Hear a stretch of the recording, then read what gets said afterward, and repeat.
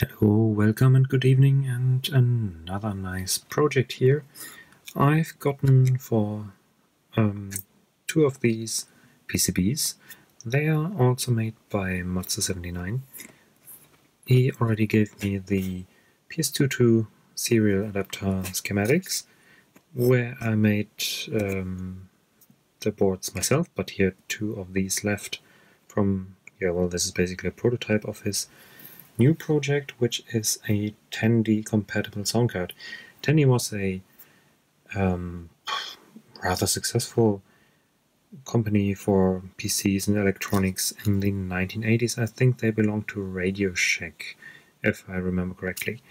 And they sold pretty decent PC compatible computers, but they also had their own standards like new graphics modes and new sound standard which was this thing. And at the core of the sound card is this chip here. This is the Texas Instruments SN, let me read it correctly, it's the SN76489 and this is the AN variant. And yeah, this is basically the same chip that's also used in the Sega Master System and a lot of 80s consoles and video game computers. And Tandy used that as well yeah, those boards here are pretty nice. They are black with uh, tinned pads, so they're probably pretty cheap, but they look very nice. Um, and I will use them, put them to good use, build two sound cards now, and test them and see if we get any games running, if they work. Hopefully they work. I had to um, buy the components, etc., from the BOM that was supplied with the with the project. Yeah, so let's see if this will work out. And I will be giving one of the cards away, and I will probably keep this one. Not sure how many games I will find that work with this, but I think it's a nice little retro sound card. It's very compact. And a very nice feature of this thing is that it has a PC speaker input here and two um, adjustable potentiometers to mix both the Tandy sound with the PC speaker sound and you can then send the PC speaker sound out of the audio jack here. So that's a really useful feature because there are a lot of games which only support PC speaker and usually you just put in like one of those cheap speakers here. They're pretty loud, you can't tune the volume, etc. So this is a nice side feature. Okay, let's get started.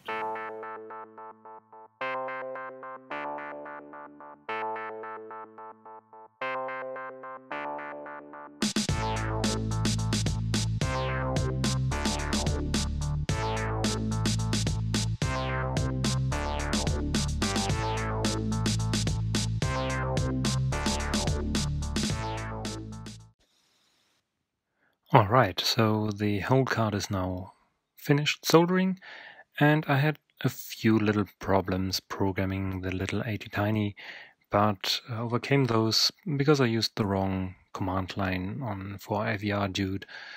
Well, anyway, this is the end result and I think it looks pretty nice.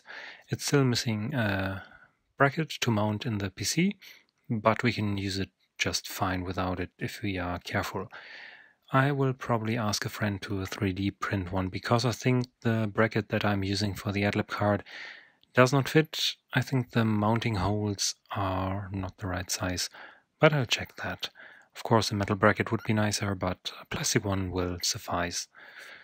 So the center piece of this sound card is this Texas Instruments SN76489 chip, it was used in a wide variety of consoles, the Master System, the Tandy 1000 PC series. Also, the IBM PC Junior used a similar chip. They are basically compatible. And yeah, you can still get them used basically for roughly one euro a piece. So they're not awfully expensive. And they are not even the most expensive part on this board. Anyway, the other nice feature of this little sound card is that you can actually set the port that the card uses. Standard for the Tandy sound is 0C0, which might conflict on AT systems with the second DMA controller. If you are having troubles getting this running, you can use one of the other two addresses, but then you will most probably have to patch the game or install a TSR, which usually requires a 386 to do the port remapping. On the top left, you also see the little Atmel Tiny 13 controller, which basically only um, mutes the sound output if necessary.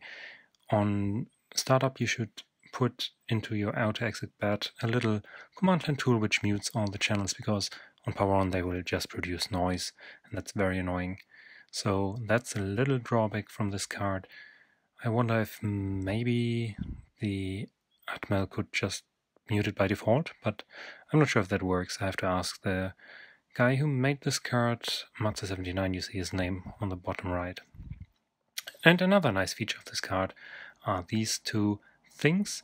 They are potentiometers, which will mix the speaker, PC speaker output and the Tandy output together, which is very useful because some games only have speaker support, PC speaker support, and that really is loud and annoying, and you want to have the beeps for postcodes, etc.